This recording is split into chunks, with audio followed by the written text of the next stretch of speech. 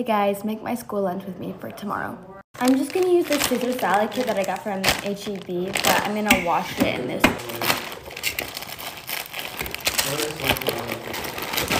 Okay, so I'm just dumping all the leaves or lettuce leaves into the bowl. Round two of spinning it, cause yeah. Okay, just put the salad in here with the dressing and the croutons. So this is my lunchbox and I'm just gonna put my salad right here. Now I'm gonna make some chamoy tahini gushers, which is so random, but I'm gonna put it in this little thing. Okay, gushers are in, and now I'm gonna put some chamoy. Okay, so now some tahini. Oh, mix that up. Okay, boom. I'm gonna put them in right there. Now I'm gonna pack some cotton candy grapes in this thing. Okay, there's the cotton candy grapes. Now I'm either gonna bring these Doritos or the Cheez-Its. I think Cheez-Its are less loud as a snack during school, so I'll probably bring the Cheez-Its. Now I'm going with Doritos. Okay, that's what we got. I'm also packing a spoon and a fork, and I don't know why they're gold. Okay, so I have a salad, cotton candy grapes, chamoy gushers, some chips, and silverware. Okay, that's my lunch.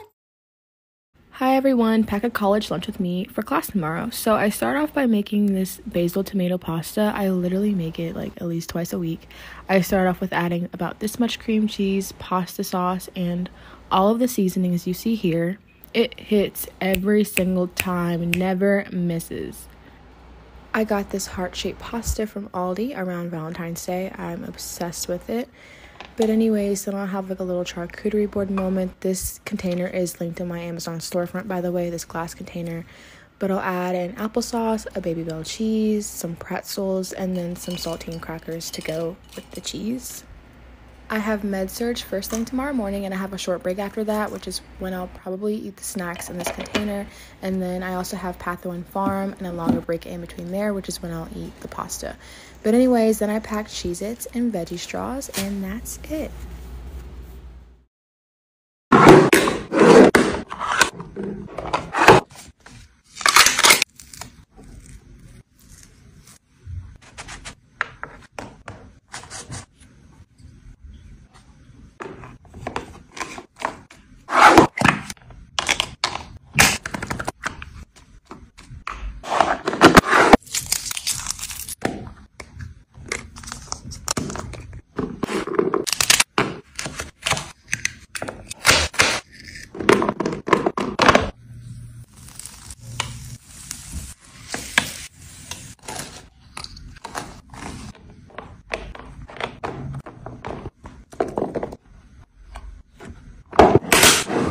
Let's pack lunch. Korean glass noodles and kimchi dumplings.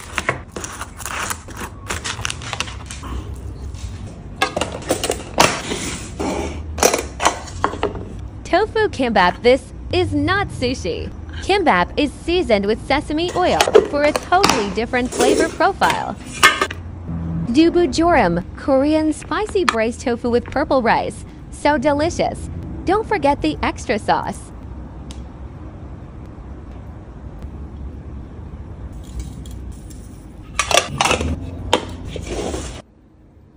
All done.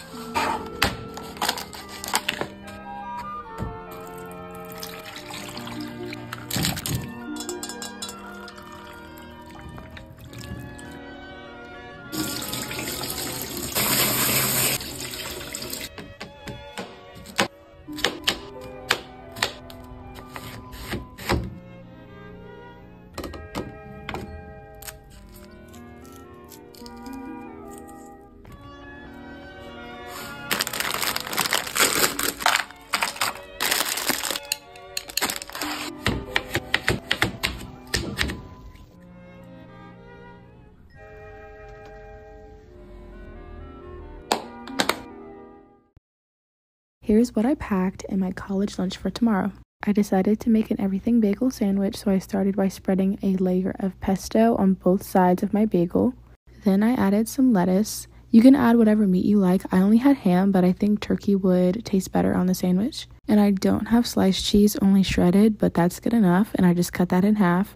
These bento boxes are linked in my Amazon storefront. I put half of my sandwich in there. And don't y'all worry, the other half is not going to waste. I'm going to eat it like before practice or something. Then I grabbed a handful of strawberries, washed and cut them into halves.